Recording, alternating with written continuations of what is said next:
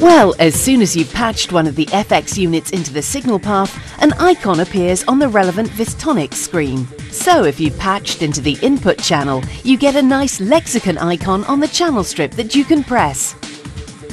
And here's the moment you've been waiting for. A beautiful Lexicon control panel appears below. Here you can see at one glance all the parameters that are available for editing of this type of effect, all laid out with their own graphical icons on the Vistonics rotary encoders below.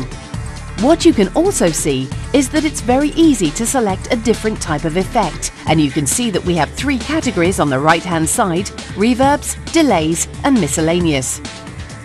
Within each category, you can then select different types of that effect. So if we go back to the reverb type, we can then select all the different types of hall, plates and rooms and so on. And if you look closely, you can see that the available parameters below change depending on the type of effect you are controlling.